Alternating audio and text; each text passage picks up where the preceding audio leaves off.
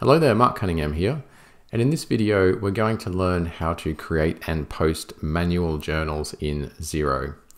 I use the Australian version of Xero, but you can use this lesson for any version of Xero that you like. And also, if you'd like to learn more about Xero, check out the links in the description below to our courses. So let's jump into Xero now and see how it's done.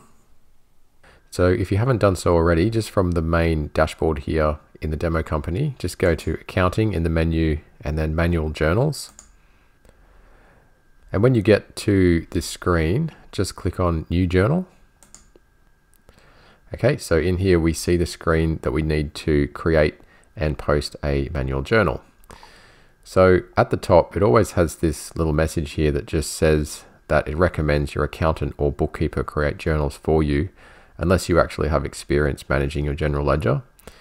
So it's basically just a little warning there. You can obviously go ahead and do it if you like, but it's just telling you to make sure um, that you know what you're doing. All right, so let's just do a little tour of this screen.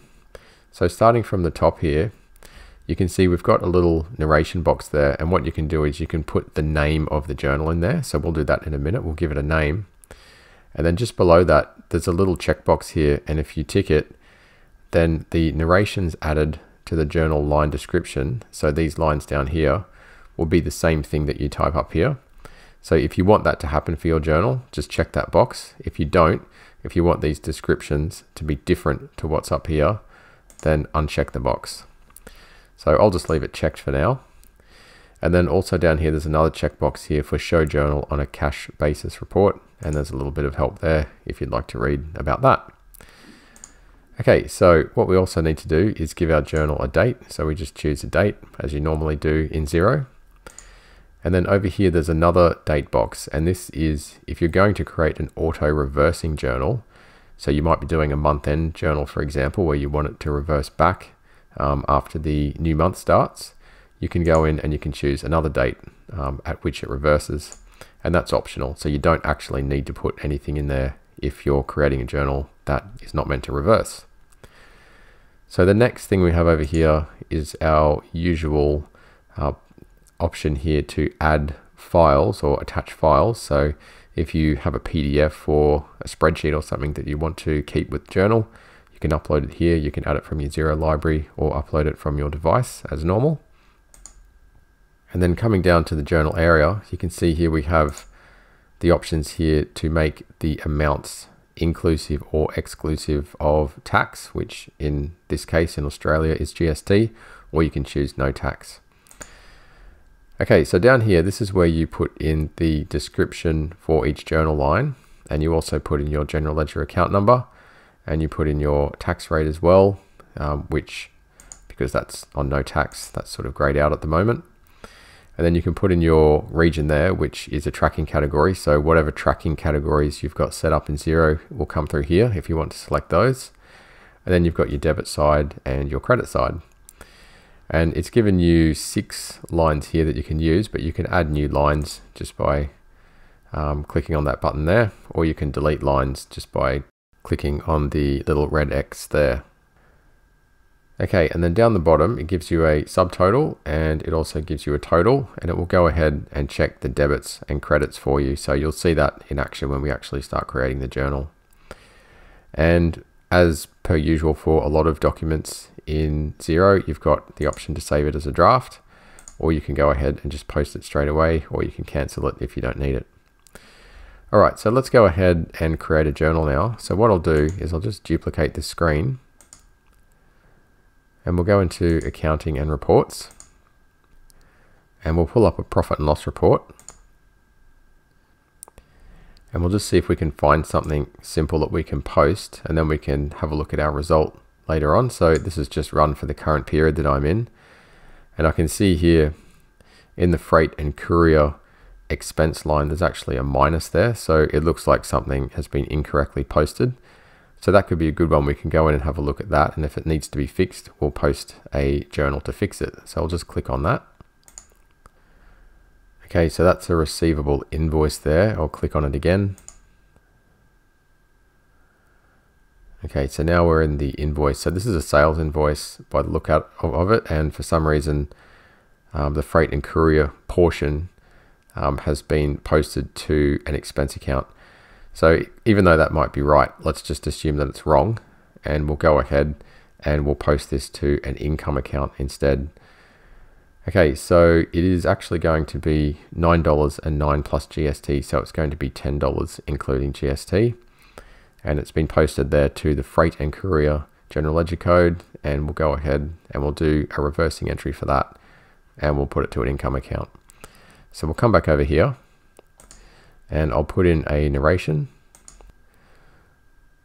Okay, so I've just put in there to correct an incorrect courier charge posting. Um, obviously, you can put whatever you like in there. If you've got a different way of doing it, you can um, just put your own description in there. I'll just leave the date as today, um, and then I'll come down here and we'll start the lines.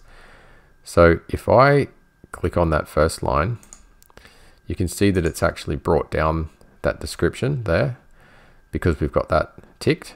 So like I said before, if you don't want that to happen, make sure you uncheck that box and then you'll need to type in um, your own description. But just to keep moving, I'll just keep that as is. So the account was freight and courier. So you can just go through and select that one. Now the tax rate there, BAS excluded, is actually wrong. Um, so what we'll do is we'll make this tax exclusive and that way it's the same as over here on the sales invoice so we can compare it more easily. And that tax rate is actually meant to be GST on expenses. So we'll just come back over here and we'll choose um, oops, this one here and we'll choose GST on expenses like that. So if I had that selected right away, um, we wouldn't have had to do that little bit there. That would have come up automatically. So it hasn't been assigned to a region, so I won't worry about that. And then we've just got our debit and our credit. So that's come through as a minus expense. So what we need to do is put it through as an expense. So we'll just put it on the debit side here. So if I just put in $9.09 exclusive of GST, and you can see that subtotal down. It's added the GST in at 10%. So I've got the total there of $10. And that gives us a total for the journal on the debit side of $10 and it also means obviously we don't have anything on the credit side yet. So it tells us down the bottom that the total is out by $10. So we can't actually post that. If I clicked on the post button now, it would give us an error message. So I'll just try that now. Yep, and sure enough, it's told us up there that the debits and the credits must equal. So you can't post a journal if you've got something down here telling you that the total is out. Okay, so let's do the next line. So once again, we'll just bring that same description down.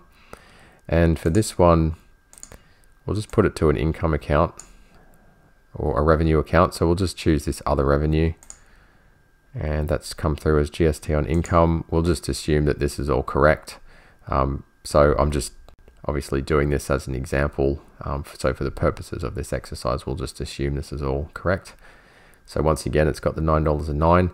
This time you can see Xero actually populated that on its own. I didn't actually type it in. So it's just assumed that we wanted the balance to go into the credit um, amount right there. It's added the GST on. It's given us $10 now on the credit side, which equals the $10 on the debit side. And now we don't have that little message down the bottom saying that we're out of balance. So now we can save it as a draft. Um, if we, for example, needed somebody to review our journal before we could actually post it, or if we're happy with it and we're allowed to post it, we can just go ahead and post it, which is what I'll do now. So I'll just click on post. Okay, so this is taking me back to the draft tab, but we actually posted that. So we'll click on posted. And there it is there to correct an incorrect courier charge posting. Today's date, debits and credits, both $10. All right, so now if we come back over here and we run our profit and loss again, Okay, so that should be the right period there. Okay, so you can see down here now in the operating expenses, we don't have that negative amount for $9.09. And instead, we've got it up here in other income um, where we put it to other revenue for $9.09. So that journal has posted correctly and we fixed up that little problem there in the P&L And now you know how to create and post a simple manual journal in Xero.